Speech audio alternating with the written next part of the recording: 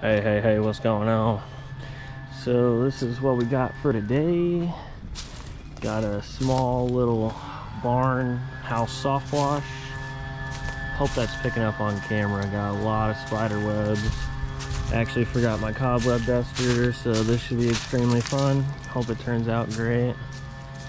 Looking pretty rough. Not a lot of algae, but just a small house wash. Also got this house over here.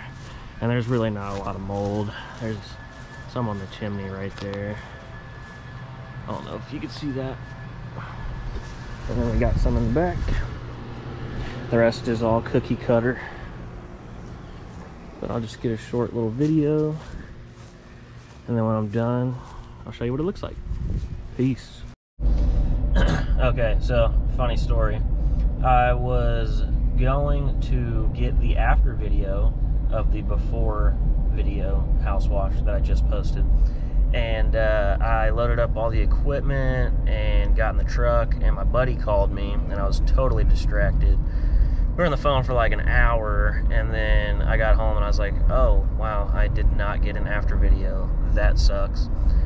Funny part of the story, I took this guy's flag down so that I wouldn't get bleach all over it and I left it in the truck. So I have to go back anyways to return this guy's Texas flag.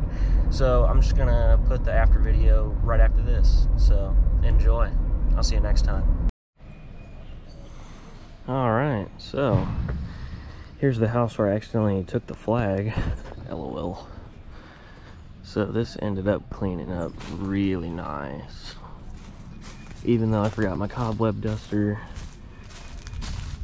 we got a really good system down. Took care of all those eaves, dirt daubers, spider webs. Like I said, there really wasn't much mold going on. I'll show you this chimney over here. That cleaned up real nice. Hope you can see that. Now we'll look at the back over here.